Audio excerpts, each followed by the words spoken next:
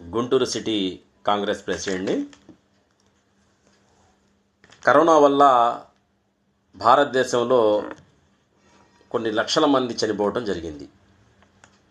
దీనికి కారణం ఆసుపత్రుల్లో సౌకర్యాలు లేనందున ఇతర దేశాల నుండి వ్యాక్సినేషన్ లేటుగా తీసుకురావడం వల్ల భారతదేశంలో చాలా ప్రాణ నష్టం జరిగింది.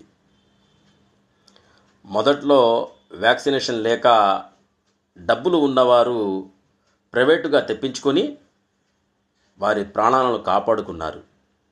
కానీ పేద ప్రజలు మధ్యతరగతి కుటుంబాలు డబ్బులు పెట్టి కొనలేక ప్రభుత్వ ఆసుపత్రుల్లో సౌకర్యాలు లేక వారికి అందాల్సిన వైద్యం అందక చనిపోవడం జరిగింది. కానీ కేంద్ర ప్రభుత్వం ఇవేమీ పట్టనట్టుగా అలసత్వం వహించింది. కేంద్ర ప్రభుత్వానికి తెలుసు మొదట చైనాలో వచ్చింది. దాన్ని మేము ఎట్లా అరికట్టుకోవాలి భారతదేశాన్ని ఎలా కాపాడుకోవాలి అన్న ఆలోచన లేక